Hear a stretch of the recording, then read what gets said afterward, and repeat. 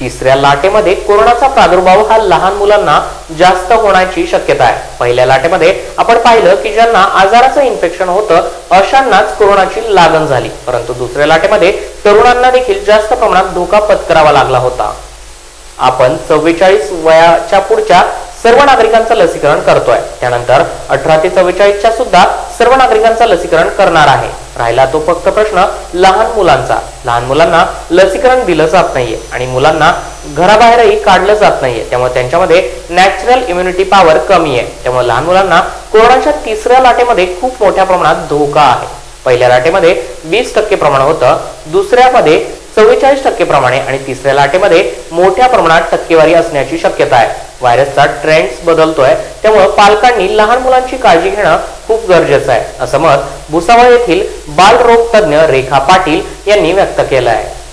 Ma'am सध्या आता ही तिसरी लाट येते. तर त्याच्याबद्दल सांगितलं सांगितलं जातलं आहे की अ, लहान मुलांसाठी ते धोक्याची आहे. तर ते कशा प्रकारे धोक्याची आहे? आणि त्याच्याबद्दल अ, पालकांनी त्यांच्या मुलांची कशी काळजी घ्यायची?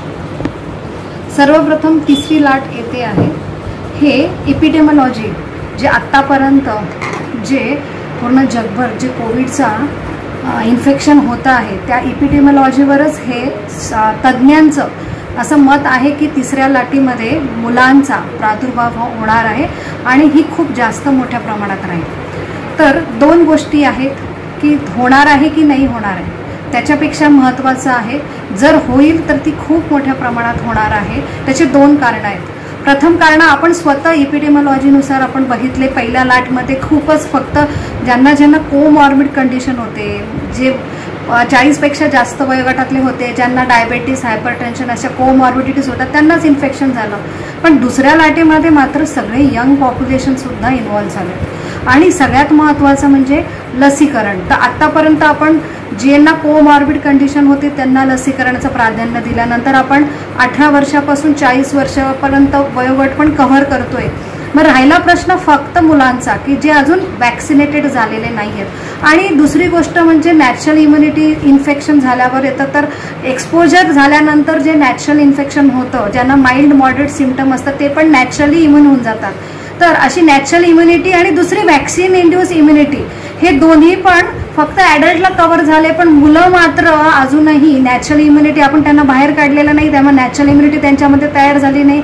आणि त्यांना वॅक्सिन दिलं गेलं जात नाही आहे कारण की त्याचे रिसर्च नाही आहेत रिसर्च जे झालेले आहेत कारण की ॲडल्टवर रिसर्च झाले म्हणून आपण वॅक्सिन त्यांना प्रमोट केलेले आहेत तर असे हे जे मुलं आहेत हे जास्त म्हणजे त्यांना जास्त धोका म्हटला जातो कारण की फक्त आता हे लहान जे अठरा वर्षाच्या खालची जे मुलं आहेत त्यांचा जास्त धोका संभवला आहे आणि आपण आपल्या ट्रेडनुसार पण आपण बघू की पहिल्या लाटीमध्ये कमी प्रमाण होतं फक्त ट्वेंटी पर्सेंट पॉप्युलेशन होतं.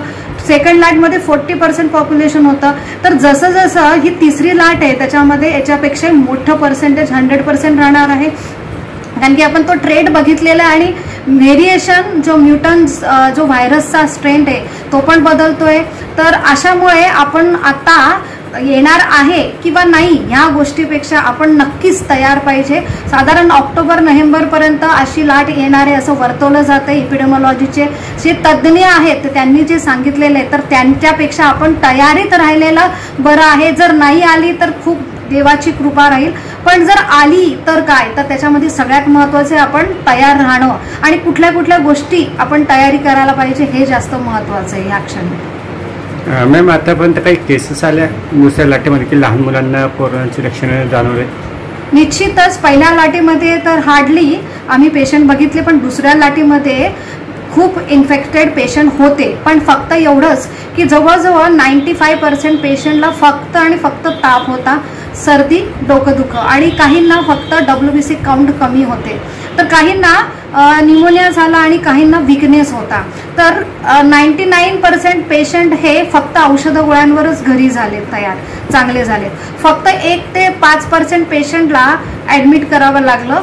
तर याच्यामध्ये सगळ्यात महत्त्वाचं जो ए एम आय जो आहे की ऑटो इम्युनिटी आपली स्वतःची ऑटो इम्युनिटी मध्ये इम्युनॉलॉजिकल रिॲक्शन्स कॉम्प्लिकेशनमुळे त्यांना पोस्ट कोविड कॉम्प्लिकेशन होतात तेच पेशंटला जीवाला धोका असतो. म्हणजे कॉम्प्लिकेटेड ज्याच्याने आपल्या जीवाला धोका असतो असे फक्त दोन ते पाच पर्सेंट पेशंटला कोविडचा धोका आहे.